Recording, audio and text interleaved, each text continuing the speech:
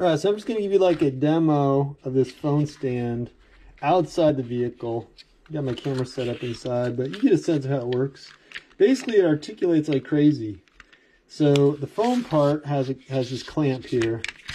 You pop the phone off, okay? So and you can kind of like you of do this. So you don't have to you don't have to like one hand it, you know. So you pop it in there,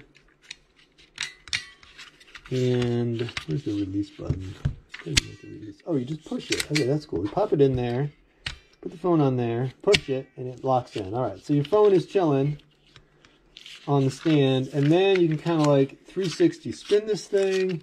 When you get it where you want, you just tighten it up. And then you can articulate like this, either way, and then this is your suction on the glass. So it's not like one of those um, air vent connections. It's the glass connection and you know a lot of options pretty solid seems to me well made i've had a couple of these that snapped over time but this one seems a lot more burly than the others. This is just your suction cup uh, suction. So once it's up against the glass you just pop that down a little bit of moisture on here and you should get good to go